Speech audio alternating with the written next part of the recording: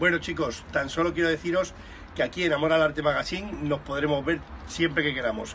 A partir de ahora siempre tendremos una pequeña sección con cosas interesantes. Nos vemos.